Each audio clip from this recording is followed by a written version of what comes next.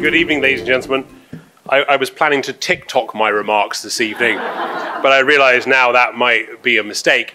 Um, uh, my, uh, my friend and colleague Jeremy Heimans, who will be receiving the award this evening, uh, is an Australian.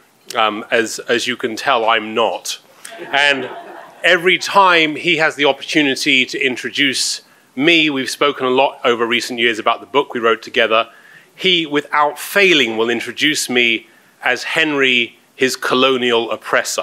um, so I, I, was somewhat surprised he invited me to introduce him this evening. Gives me a chance to uh, return the favor somewhat.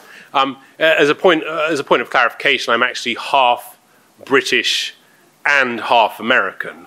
I'm half and half, which means, of course, I understand the rules of cricket and baseball. Um, I can take full credit for Shakespeare and Robert Frost. Um, and I can enjoy both fish and chips and hot dogs.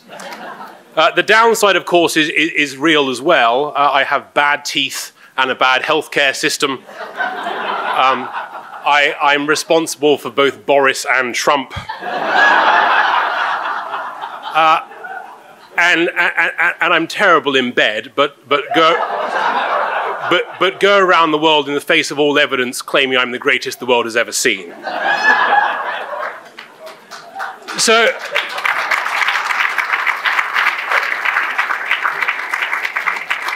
Uh, by, by, way of introduction, my honor this evening is to present uh, the medal to my colleague and friend Jeremy Heimans.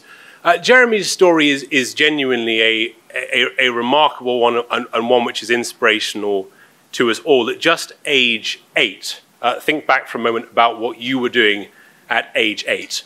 At age eight, Jeremy was nobly and earnestly starting movements using new technology to try and change the world. He, at age eight, launched a campaign using the fax machine to get people to fax world leaders to take stands on issues like nuclear disarmament. And that work he did as a child continued through his adult career.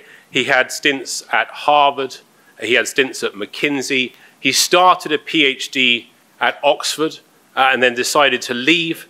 Uh, his advisor said to him, Jeremy, the world needs more activists and fewer academics. Um, so it proved to be true. And just think about some of the things that Jeremy has achieved in the early stage. This is still the early stage of his career. He founded the organization GetUp in Australia. GetUp is a political movement he launched, co founded in Australia, which now has more members than all of the political parties in Australia combined, using new technology to find ways to give voice to people who have been left out of a conversation around politics in Australia. He co-founded too Avaaz. Uh, Avaaz, uh, and this is not overstatement, is the biggest citizen online movement in the world. 50 million people, 50 million people around this world have been connected to fight for the causes that the Foreign Policy Association believes in through the work Jeremy and his colleagues did to get that off the ground. He launched two. He co-founded the All Out movement. The All Out movement has done groundbreaking work, of course, to help support LGBT causes all around the world. And by that point, he is not done. He also then co-founds Purpose. Purpose is an extraordinary organization. I've had the good fortune to work closely with. And their job in the world is to build movements and to start campaigns that make the world more just, more open, and more habitable. At Purpose, they don't just talk about changing the world, it is the work that they do every single day of the year. And that work has led to groundbreaking collaborations in areas like climate change, refugee rights, LGBT rights. And on top of all that, he wrote with me uh, the the groundbreaking, best-selling book, uh, New Power, described by David Brooks as the best window he's seen into our new world, and nominated for the FT McKinsey Prize last year. So he did all of that before he hit 40. Um, and if you think about a life, you think about how you uh, measure a life, think about all of us and how we measure a life. Um, David Brooks once wrote about the idea that we have two things in our world. We have resume virtues and we have eulogy virtues. What is the difference between the two? The resume virtues are those things you do with your career, the jobs that you have, the, the promotions you get. The eulogy virtues are those things at the end of your life you wish people would think about what you had done with your time.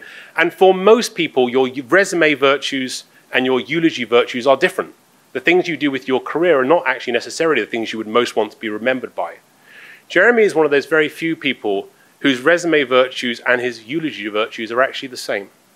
The things he has done with his remarkable talents are indeed the things he would most want to be remembered for, and for all of the accolades and achievements he has rightly won over the years. The truth of the matter is, is that at its heart, the thing that Jeremy takes most seriously isn't how the world sees him, but how he sees himself. And this evening, as he is honored by the FPA medal, I think I can say with my hand on his heart as a dear friend, your eight-year-old self will be very, very proud. Congratulations.